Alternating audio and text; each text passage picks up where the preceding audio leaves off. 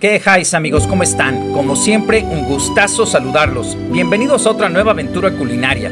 El día de hoy les voy a compartir mi experiencia de cena en un restaurante de cocina internacional con inspiración en la gastronomía francesa, el cual contaba con un concepto diferente de noches de cabaret padrísimas y el cual prometía ser el nuevo hotspot de la ciudad. Sin embargo, por razones desconocidas, tristemente cerró sus puertas a tan solo unos meses de su apertura. Realmente una lástima, ya que tuve el gusto de asistir en un par de ocasiones y me la pasé de lujo.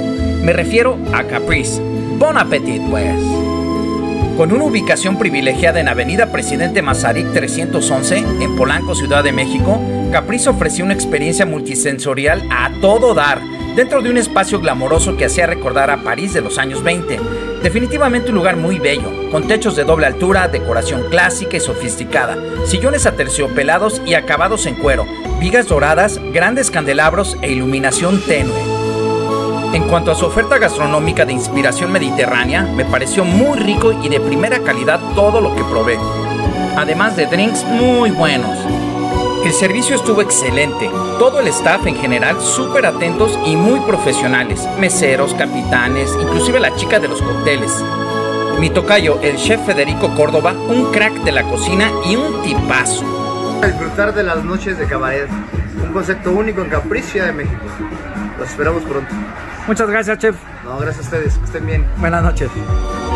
¿Y entonces qué pasó? ¿Por qué cerró Caprice? Sinceramente no tengo la respuesta. Sin embargo, independientemente de cuál haya sido el motivo, es una verdadera pena. En fin, se la vi. Arrancamos nuestra grata experiencia con pan o gasa y biscuit de queso cheddar. Una delicia.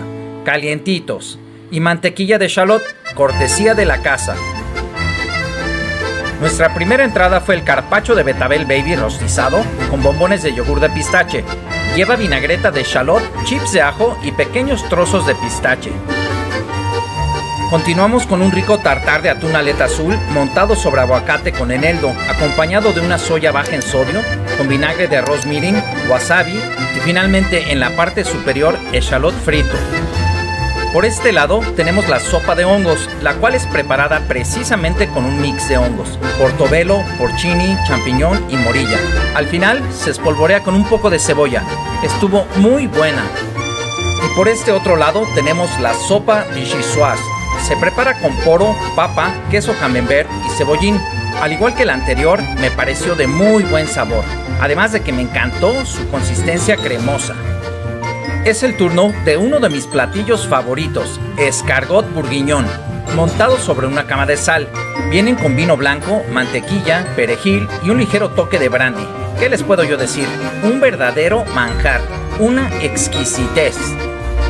No podía faltar un suculento filete miñón de 225 gramos, acompañado de mantequilla café de París, preparada con pimienta negra, pimienta rosa, pimienta blanca, anchoas, coñac y echalot. La carne me pareció de buen sabor, suave, jugosa y cocción perfecta. La que no tuvo abuela fue la mantequilla, estuvo buenísima. Y para acompañar nuestro platillo anterior, nuestro filete, elegimos un rico puré de papa, el cual lleva nuez moscada, queso grana padano, cebollín y un poco de crema. Para variarle un poco, decidimos probar de último platillo el pollo orgánico. Viene deshuesado y se marina en leche por 24 horas. Lleva romero, tomillo, echalot y hoja de capir. Definitivamente fue una buena elección. La coctelería de Caprice era buenísima, creativa y con un toque de glamour, como esta bebida de autor de nombre Montmartre, que lleva tanqueraitén, jarabe de manzanilla, jugo de limón y macerado de chambord con frutos rojos. También tuve la oportunidad de probar un par de mocteles bien mamalones, ambos estuvieron de lujo. Finalizamos nuestra maravillosa velada con una deliciosa degustación de tartas. La primera es de plátano con dulce de leche, la segunda es de higo y la tercera de limón tradicional. Al igual que en cualquier otro restaurante del grupo Rosa Negra, Caprice era un lugar ideal para festejos y celebrar esas ocasiones especiales. Eso es todo amigos, muchas gracias por haberme acompañado en esta fascinante experiencia culinaria. Si te gustó mi video te invito a que te suscribas a mi canal y actives la campanita para que se te notifique cada vez que subo un nuevo video. No dudes en hacerme saber si hay algún restaurante en particular sobre el cual te gustaría que hiciera una reseña. Tus comentarios son siempre bienvenidos. Hasta la próxima.